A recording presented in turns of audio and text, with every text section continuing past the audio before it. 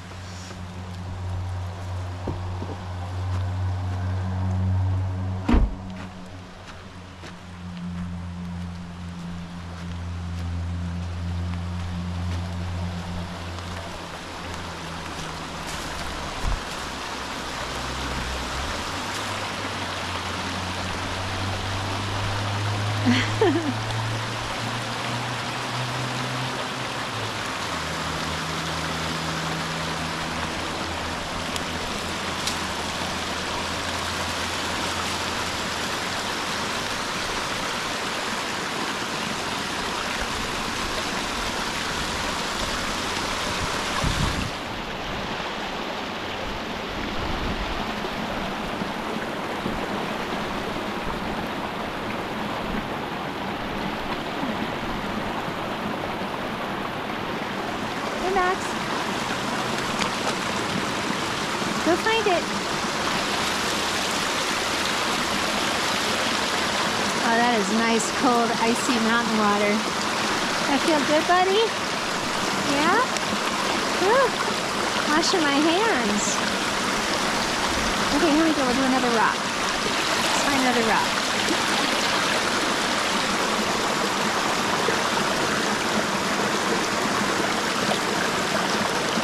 Here's one. See that? Find it. it's pretty deep right there.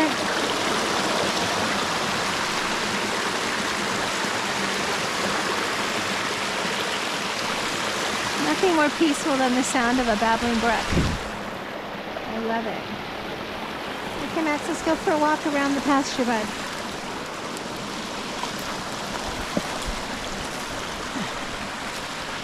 Wow, look at this tree. A buckeye. You can tell by the terminal buds. Look like arrows.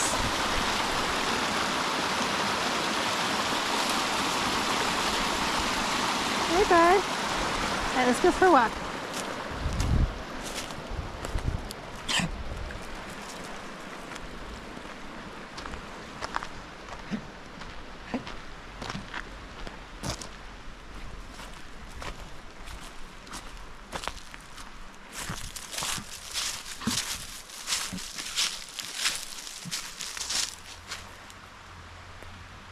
A birch tree, isn't it beautiful?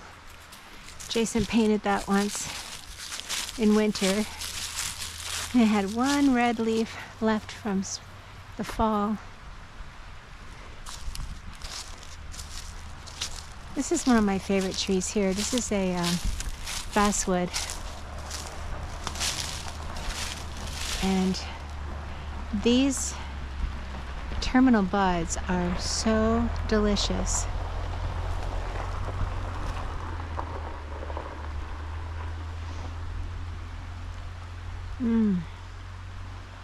I mean, that is good. It's like eating a really sweet nut. But every time you pick off one of them, it means you're not going to have a leaf. And I like to call this tree the salad tree because their early leaves taste like, I don't know, um, Boston lettuce or just a really sweet, delicious, crunchy lettuce. So, but I do enjoy eating these terminal buds. They are so good. Um, also, the flowers make an amazing tea and they taste very much like jasmine tea, and I use them for all my Asian um, wild food feasts. Look at that, delicious. So these are going to get more and more pregnant and bulging over the weeks, and then they'll unfurl. So make sure you're watching to see the magic happen. The seed pods look like little round balls hanging down, and you can actually make chocolate out of them.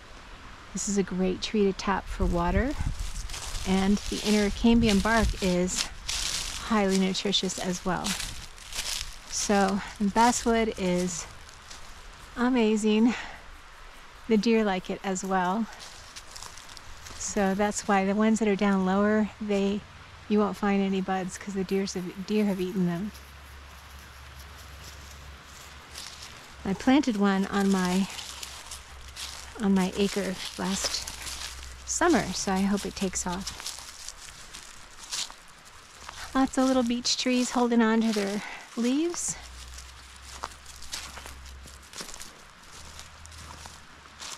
You can tell looking at their terminal buds, they look very much like cigars, tightly coiled cigars.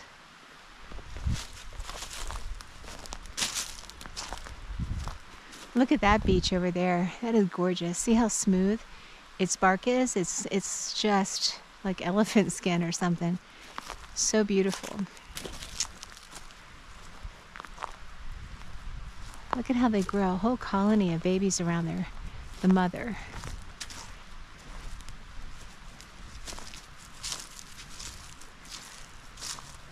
Poplars.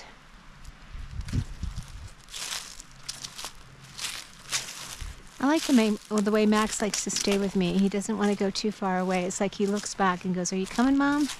I'm coming, bud. Come on.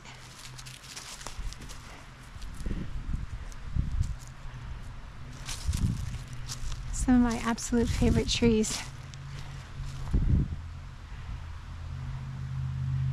There's a huge red oak back there, too.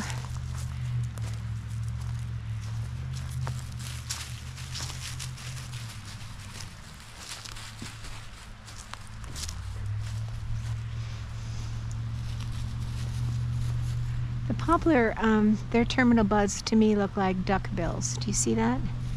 Kind of rounded, long. Hey buddy, stay with mom. Come on.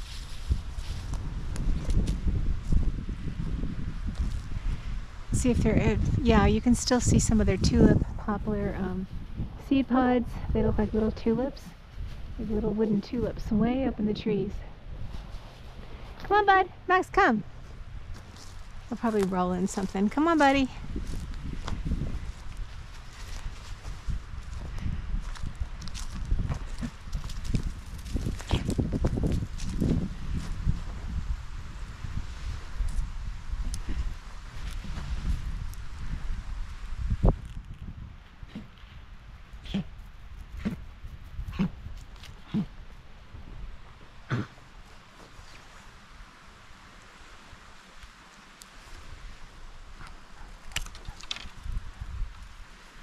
This is a magnolia acuminata. Are you okay, bud? I stepped on him.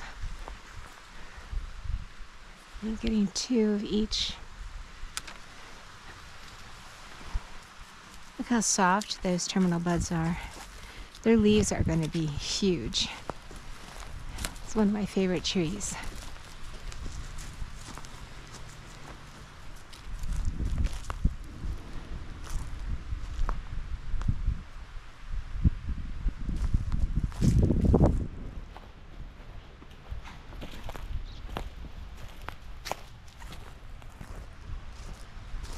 Those rocks there are a place Max and I like to sit and have our quiet time. Yeah, we're not going to do that today, bud. Just want to go get a magnolia um, grandifolia twigs because their their terminal buds are quite interesting. This is a maple tree. Their terminal buds look like little deer hooves. It's hard to see. They're so small.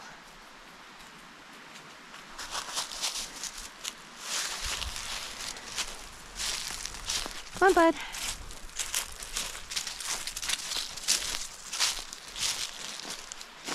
There's more of the beech. So I'll pick two of these. One, two. I like this one better.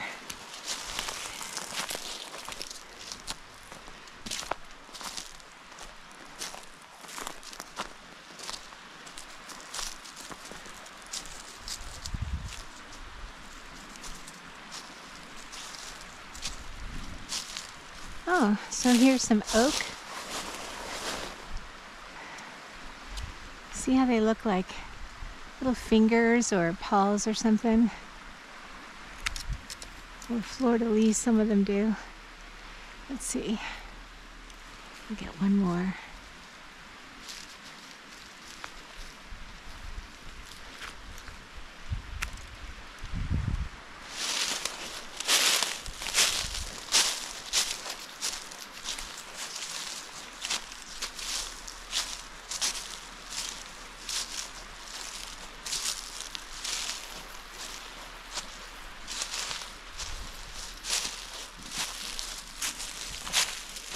Oh great, he's rolling in some deer poop.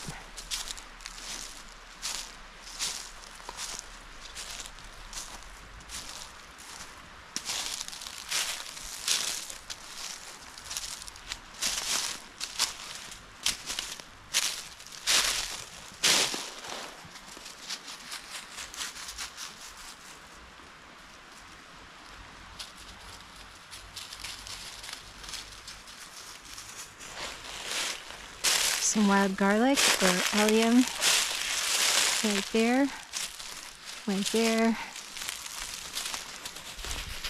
This is another beautiful maple.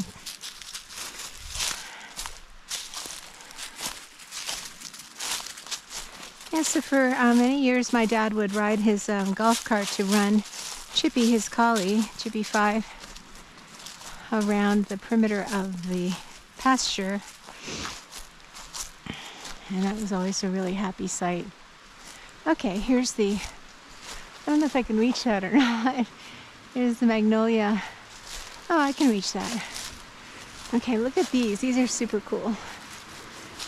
I think they look kind of like witch's claws.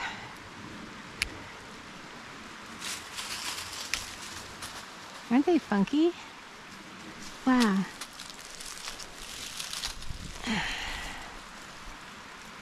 That's so neat.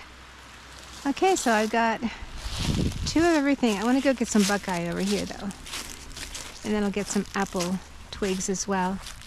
These just, I have a really fun game I'm concocting for a game day with kids where I need to have two of each type of tree. And I'll explain it when you watch them play the game.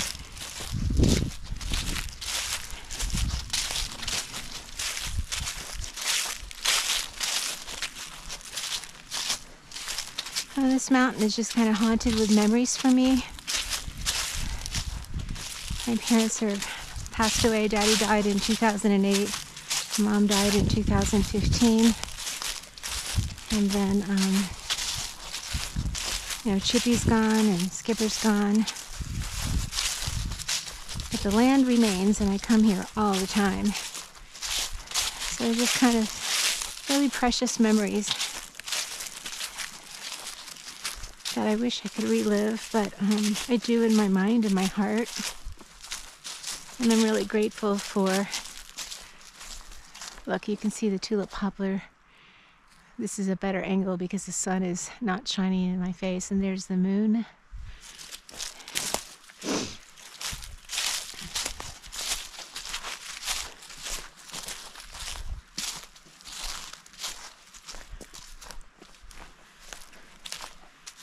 So there's a buckeye tree over here, and it usually has low enough branches that I can get some of their terminal buds. So let's see what I can get.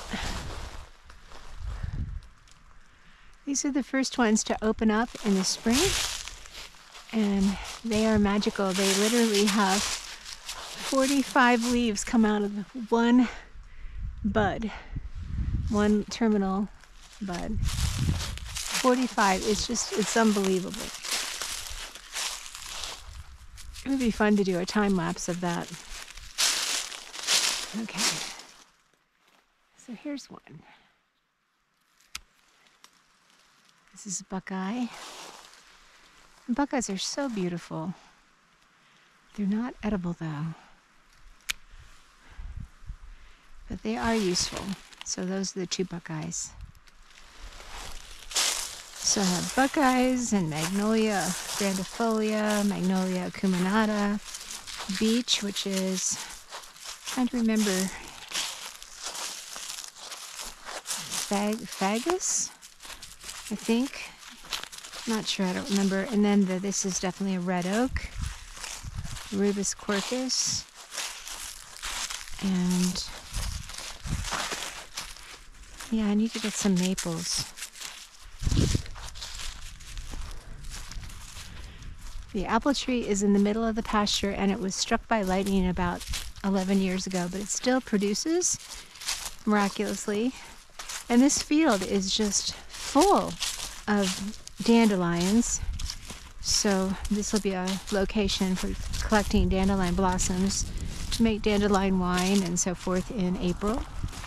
And they're full of beautiful violets too. So it's a great place to collect violets to make jelly, to candy for pastries. So we'll go over to the apple tree and get a couple of twigs there. Are you happy boy? Look at his shadow. Yeah, it's not, he doesn't like being indoors all the time. I don't either. If it was up to me, I'd be foraging all day, every day. Just to be outside, get the fresh air, get the sunshine, see what kind of miracles there are to observe, gather free food.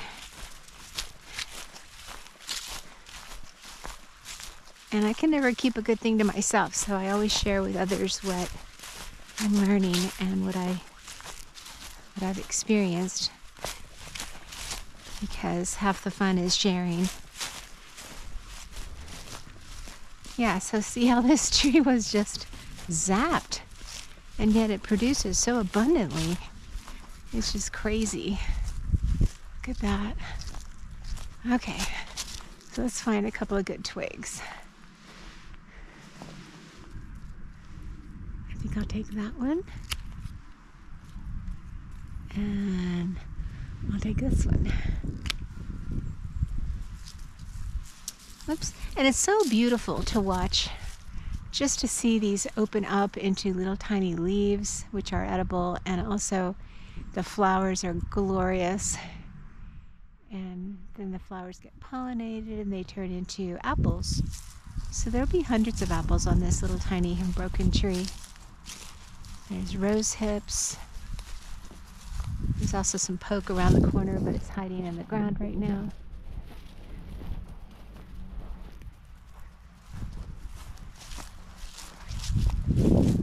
Let's see, there's also lots of Queen Anne's lace in here, so I would be gathering this in August.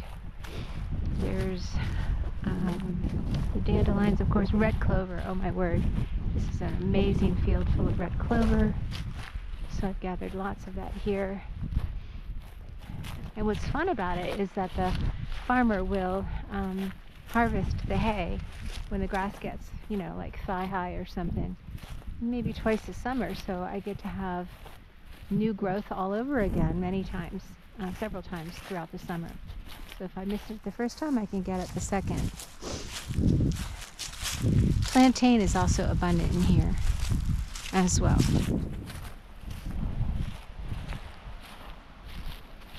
Hey buddy, you want to get another drink? Let's go over here. You can get a drink over here next to the birch tree. Come on buddy, over here. Max, come. Over here. Good boy.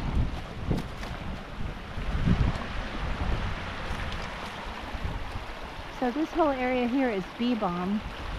Beautiful red bee balm. Monarda fistulosa. And that whole thing will be red in July. Did you get a drink? Yeah? Okay.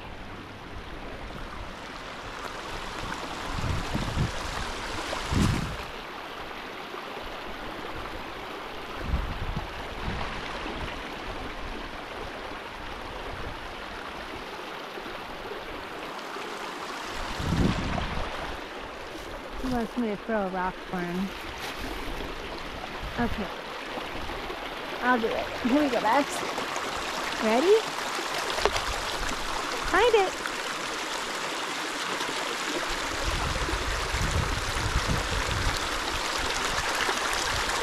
Find it. Oh, Good boy. Oh, that's a good rock. Nicely done. oh, you put it over there. Okay. Here. I'll throw another one. Here's a big one. This will make a splash. Go get it.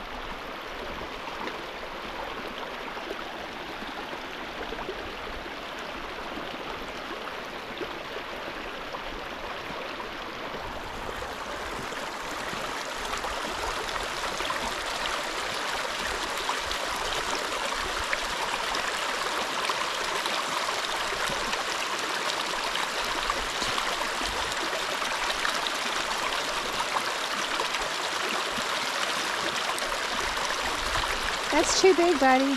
That's too big. Find another one. Here. Here's a little one. Ready? There we go.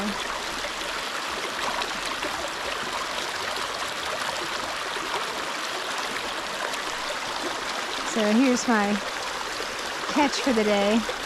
I'm so excited. Such miracles. Thank you, Lord. Oops, I'm going to go get a basswood tree and then I'll get going. Come on, buddy, we got work to do. Let's get home. I've got to overlay my latest class on the magic of seeds, which is such a good class. Come on, bud. Wow, look at these holes under this tree. Look, Max.